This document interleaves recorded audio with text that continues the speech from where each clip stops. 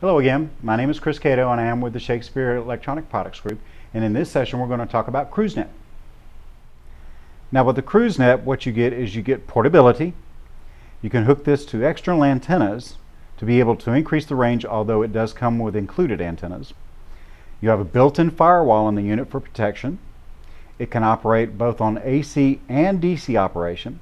The chassis is die-cast aluminum to help dissipate heat.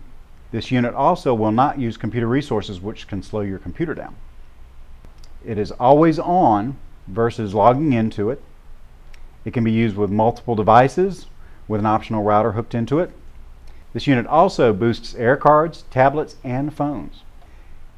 And most importantly, it can be used internationally with SIM cards. And it also has a two-year warranty. For more information, you can visit our website at www.shakespeare-marine.com.